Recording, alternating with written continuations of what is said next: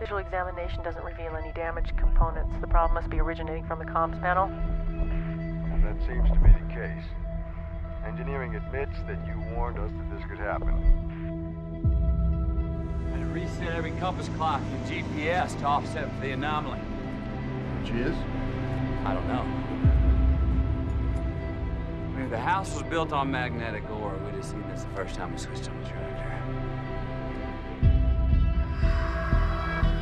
Oh, 653 on Sol 19, and I'm alive. Obviously, but I'm guessing that's gonna come as a surprise to my crewmates. As you can see, many people have gathered here to see whether or not the mission to retrieve Mark Watney will be a success.